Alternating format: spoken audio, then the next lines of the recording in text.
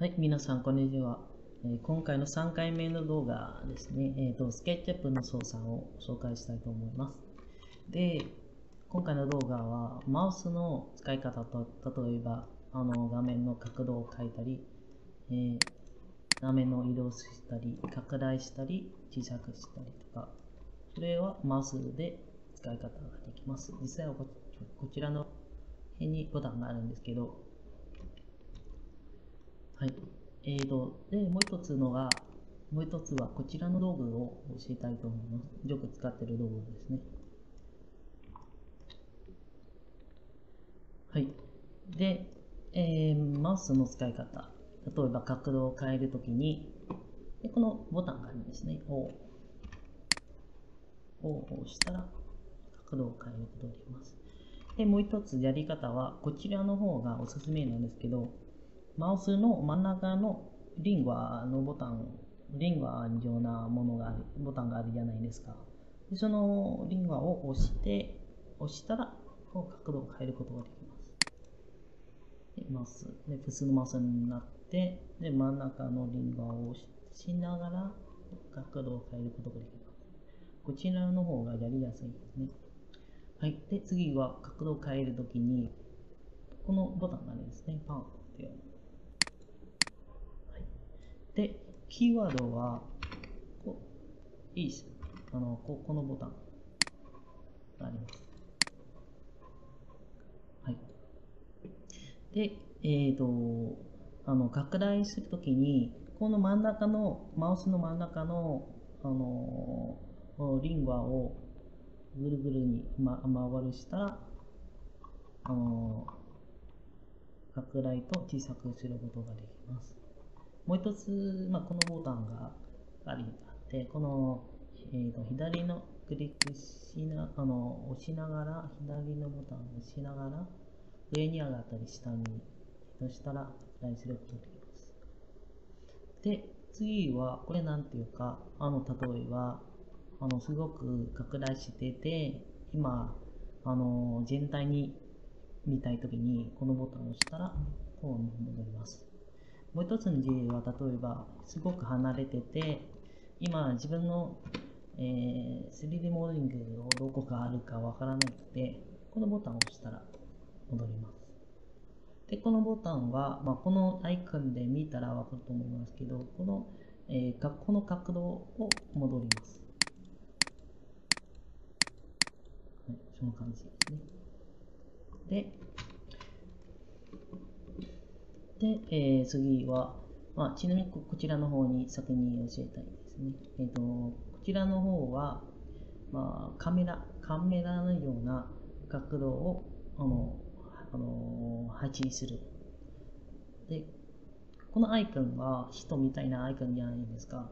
で、人間の目線は、例えば1670ぐらいで、で、先にちょっと長くこういうの立ってて、で、人間の目線ここに押したら、この下に1676、これは人間の目線、平均の目線で、で、次、自動にこのボタンに変更して、この目のボタンは、もう人間の目みたいな、この上に見たり、下に見たりと。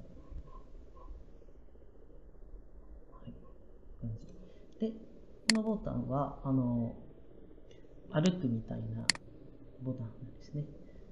押しながら上に上がったらまっすぐに、うん、入ったり、ちょっと左に移動したら左に曲がったり、で、一緒に、こう感じ。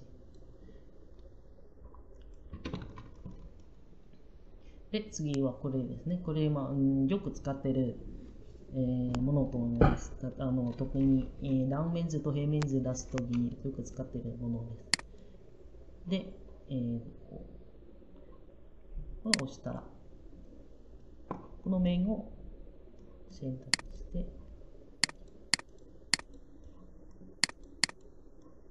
ね、中に見えることができます。で、移動ボタンを押したら、こう移動することができます。はい。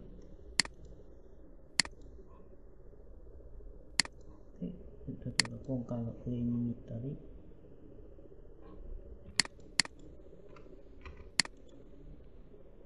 ヘミンズカットビンですね。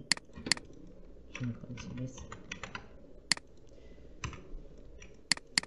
で、次は、この上のところを教えたいと思います。で、これは、まあ、このアイコンで見ると大体わかると思うんですけど、色を塗る、テクチャを塗る、あの貼る貼ることですね。で、例えば、例えば、ピクチャーを選んで、このモックとピクチャーを選んだら、こう、できます。モック、貼ることができます。では、テクチャーをしたら、違うですね。はい。で、こちらも前回の動画は、軽く話しましたんですけど、このケースボタンをつけて、都内にあって、消す。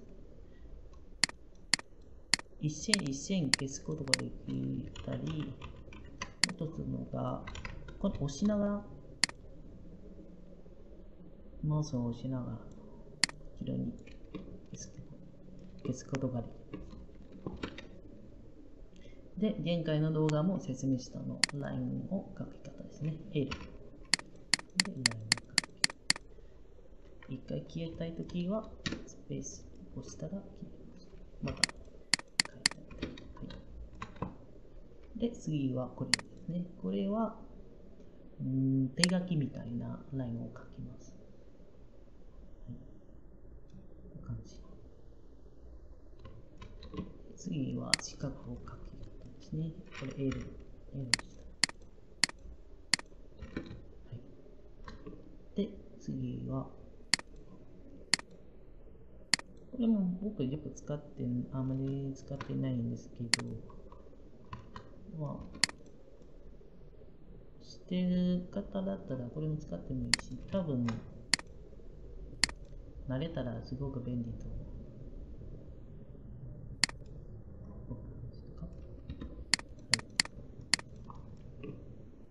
で、この丸ボタン、あの丸円を書きたいときにですね。C、C を押したら OK です。で、ちょっとこの円を見たら、周りの線がなんか硬いじゃないんですか。線、線、線、連続して。で、これもっと丸することができる、できます。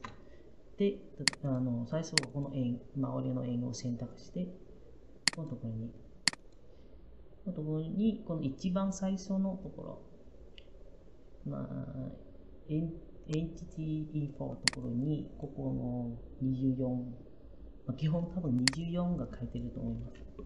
で、24を消して、例えば60書いたら、60書いたらね、今硬いじゃないですか。60書いたら、エントで、丸、丸くになりました。で、これは長さ。その円の長さを表現します。で、真ん中したら、この真ん中の、えー、その面積、面積の表現します。はい、で、次はこれですね。このまあまあ、あんまり多分使うことがあると思うんですけど、あのー六角形。で次はこれはえっ、と絵の書何度でか。でまたこれを20度これが60丸しますね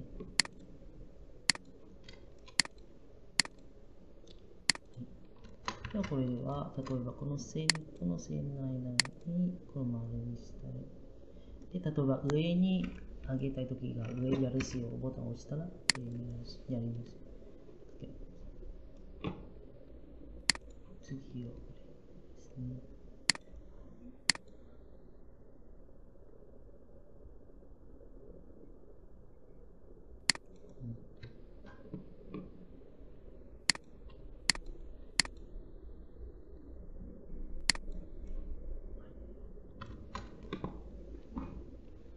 で、こちらのアイコンは移動。移動のアイコンですね。前回の動画も教えた。これ移動のボタンは M を押したら、こう移動することができます。で、コントロールを押したら、コピーすることができます。で、これは、あのー、スリリに立ち上げる。まあ、持ち上げる。はい。そう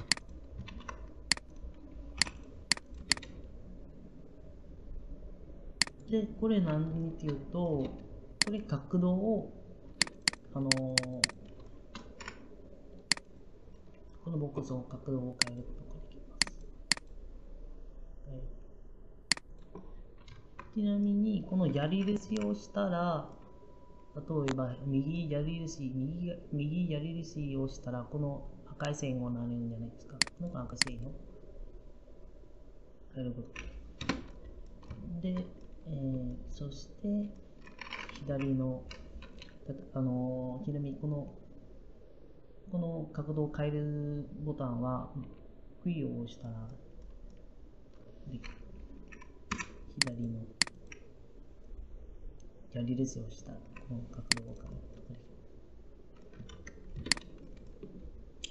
で、これは、これもよく使ってると思うんですけど、えー、例えばこの四角選択して周りの円を伸ばしたり近くあの小さくしたりのでこれ、まあ、この円でもできます、まあ、線でもできる。この線だけでもできます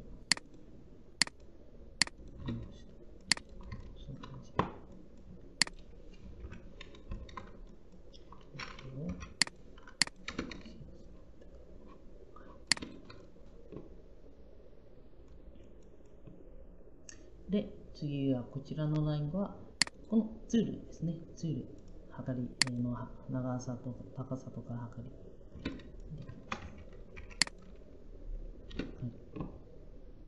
り。で、こちらは、あのあんまり使ってないんですけど、これは、えー、長さを表現する。上になります。で、こちらは、まあ、このアイコンを見たらわかると思いますけど、あの、角度を測あの測るツールですね。で、はこの線からこの線までだったら、120度があるんですね。はい。で、次はこちらで、こちらは説明みたいな、例えばこの、この面は、はい、もう面選択したらね、面面選択したら、この面積を表現するんです。例えばこの真ん中の文字あの文字を変えることができます。例えばこれはあ柱、例えばですね、柱って言ったら、柱って出てきます。